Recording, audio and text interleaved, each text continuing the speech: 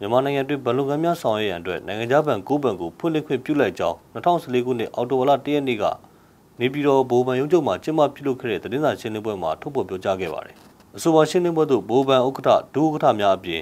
ဗဏ္ဍာရေးဝန်ကြီးဌာနမှဒုတိယဝန်ကြီးဒေါက်တာမမောင်သိန်းနှင့်သတင်းမီဒီယာများတက်ရောက်ခဲ့ကြပါတယ်။သတင်းမီဒီယာများ၏မေးမြန်းချက်များအပေါ်ပြန်လည်ဖြေကြားရမှာနိုင်ငံခြားဗဏ်များအနေဖြင့်ပြည်တွင်းရှိပုဂ္ဂလိကဗဏ်များသို့ငွေထုတ်ချေးခြင်း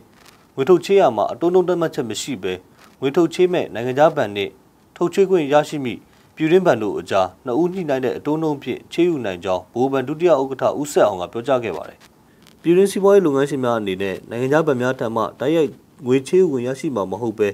ပြည်တွင်းဗန်များမှသာတဆင့်ခံချေးယူရမည်ဖြစ်ကြောင်းပြည်တွင်းဗန်တစ်ခုခုနှင့်ပူးပေါင်း၍သာနိုင်ငံခြားဗန်များမှချေးယူရမည်ဖြစ်ကြောင်း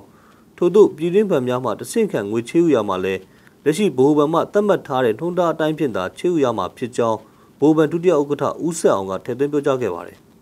ဟောလက်ကားဘဏ်လုပ်ငန်းဆိုတာတော့ corporate banking ပဲဖြစ်ပါတယ် corporate banking ဆိုတာတော့ကျွန်တော်တို့ဒီ company တွေကိုပေါ့နော် company တွေကိုပဲငွေချတာဖြစ်ပါတယ်အဲ့တော့လက်ကားဘဏ်လုပ်ငန်းမှာ company တွေကိုအဖွဲ့အစည်းတွေကိုငွေချတယ်ဆိုပေမဲ့ကျွန်တော်တို့ကခုနလိုပြန်သတ်မှတ်ထားပါတယ်အဖွဲ့အစည်းမှာမှဒီနိုင်ငံခြားအဖွဲ့အစည်းနဲ့ကျွန်တော်တို့ဒီ local bank တွေကိုချီရမှာဖြစ်ပါတယ် ပြည်တွင်းလုပ်ငန်းရှင်တွေကိုမချိရဘူးလို့မပြောပါဘူး။ပြည်တွင်းလုပ်ငန်းရှင်တွေကိုချိမယ်ဆိုလို့ရှိရင်တော့ပြည်တွင်းဗန်များကတဆင့်တော့၎င်းဒါမှမဟုတ်ရင်ပြည်တွင်းဗန်များနဲ့ပူးပေါင်းပြီးတော့ပူးပေါင်းတယ်ဆိုတဲ့သဘောကဥပမာဆိုရင်ပြည်တွင်းဗန်ရဲ့ project financing အရာသူ့ရဲ့ project ကလိုအပ်တာကဥပမာဆိုရင်10 million dollar လိုအပ်တယ်ဆိုတော့သူကပြည်တွင်းဗန်တစ်ပန်မှာ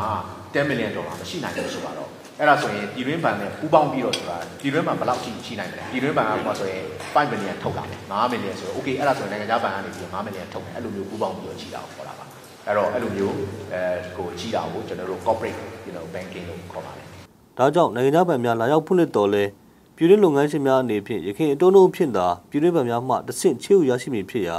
ပြည်တွင်းလုပ်ငန်းရှင်များထက်ခရိုနီဗန်များနှင့်အစိုးရဗန်များသာပုံမှုအကျိုးဖြစ်ထွန်းမိအခြေအနေတရက်ဖြစ်ပေါ်လာကြောင်းသုံးသပ်မှုများပေါ်ပေါက်လာခဲ့ပါတယ်။နိုင်ငံခြားဗန်အများစုမှာချေယူငွေအပေါ်အတုံးလုံး200ခန့်နှုန်းကဲ့သို့နေပါတဲ့အတုံးလုံးသာရယူလေးရှိကြောင်း